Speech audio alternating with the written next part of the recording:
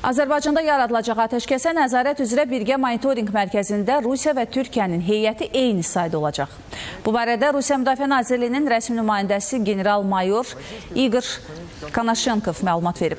O xatırladıb ki, noyabrın 11-də imzalanan memorandum əsasən atəşkəsə nəzarətlə bağlı Rusiya-Türkiyə monitorinq mərkəzinin yaradılması, yerləşdirilməsi və idarə edilməsində dair razılıq əldə edilib. Mərkəz Azərbaycan ərazisinə yerləşəcək və orada iki ölkənin hərbiçilərinin sayı bərabər olacaq.